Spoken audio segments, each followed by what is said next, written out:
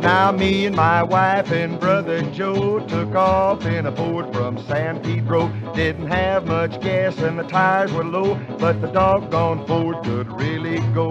Along about the middle of the night, we's ripping along like four folks might. When a Mercury behind, he blinked his light. He honked his horn and it flew out of sight.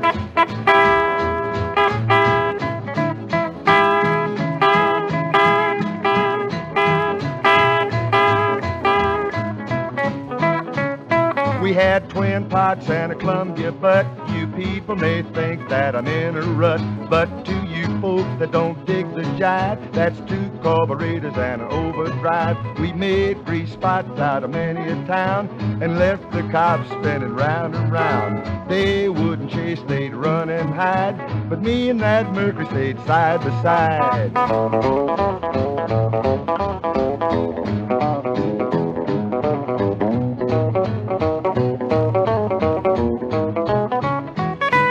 I looked at my bride, her face was blue. I was stuck to the throttle just like it was glue. We left streets through towns about 40 feet wide, but me and that Mercury stayed side by side.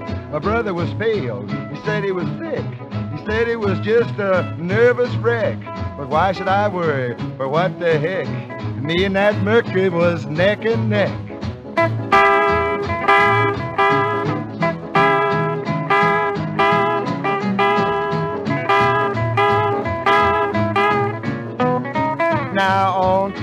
Desert we did glide, flying low and flying wide. And me and that Mercury was taking a ride.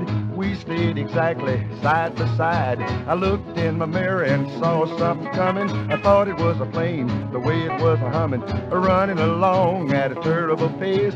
I knew right then it was the end of the race. When it flew by us, I turned the other way. The guy in the Mercury had nothing to say, and I could see it was a streak of gray. Was a kid in a hopped up Model A.